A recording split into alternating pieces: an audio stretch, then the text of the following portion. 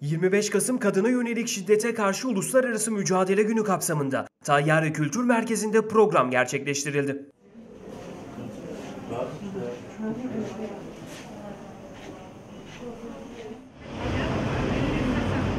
Düzenlenen programa Bursa Valisi Yakup Can Bolat, Bursa Büyükşehir Belediye Başkanı Ali Nur Aktaş ve Bursa İl Emniyet Müdürü Taceddin Aslan katıldı.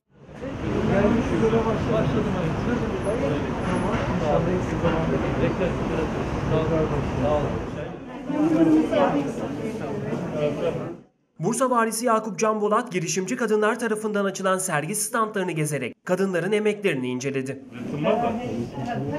Satıyor muyuz? Burada değil genel anlamda.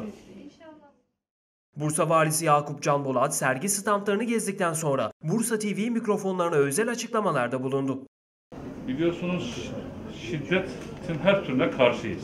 Kadına şiddete her halükarda karşıyız. Bu konuda sıfır tolerans kuları, e, kur- kuralıyla hareket ediyoruz.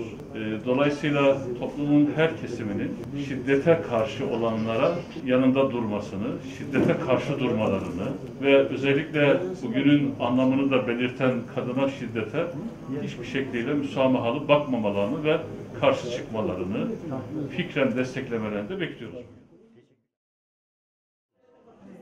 Konuşacağınız mı abi sizde? Hadi siz de çok. Biraz Bursa Aile ve Sosyal Hizmetler İl Müdürü Muharrem Doğansa bu anlamlı günde Bursa TV'ye özel açıklamalarda bulundu. gerçekten bu alanda şiddeti gündemimizden, ülke gündeminden, insanlık gündeminden çıkması için çalışıyoruz. Bu alanda çalışmalar yürütmekteyiz. Bunu diyorum ki o günlerde e, yapın zor değil.